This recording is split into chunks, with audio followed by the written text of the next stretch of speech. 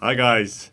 So picture a company selling bicycles. So say we recently start a few months ago started this company buying and selling bicycles and we've been profitable since the first month. So we've been lucky.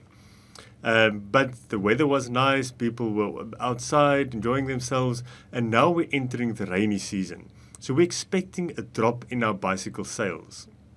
And we want to know how far can our sales drop before we start making a loss?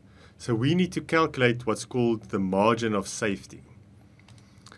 So the margin of safety is the number of units or the percentage drop in sales before we start making a loss. So it gives us a measure of risk.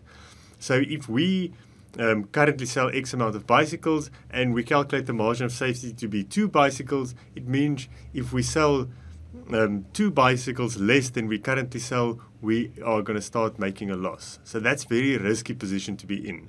If our margin of safety is 100 bicycles, we know our sales could drop by 100 bicycles before we start making a loss. So let's look at an example. How do we calculate the margin of safety?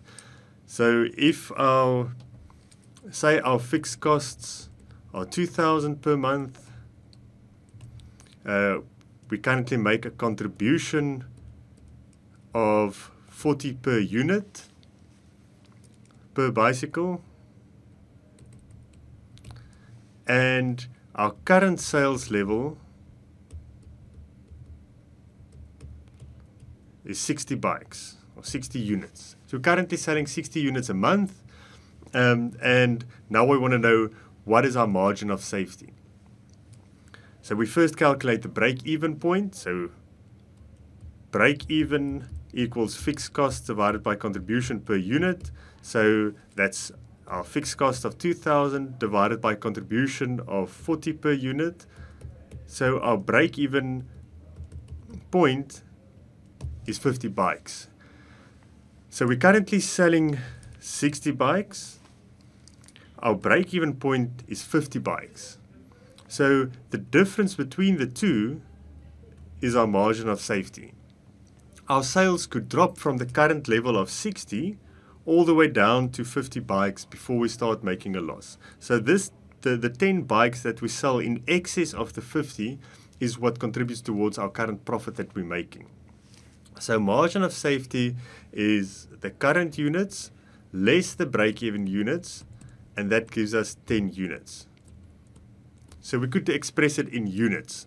So we've got 10 units to play with before we start making a loss. Um, if it's big numbers, it's maybe sometimes more meaningful to give it in percentages. So our margin of safety percentage is the margin of safety in units, the 10 from, from the first calculation, divided by our current sales level of 60 units. And this will give us an answer of 16.67%. So how do we interpret this? The interpretation of our calculations are always the most important bit. Um, so uh, if we see a margin of safety of 16.67%, that means our current sales could drop by 16.67% before we start making a loss. So this gives us an indication of how risky this, the current operations are, how um, how likely we are to enter that loss-making position.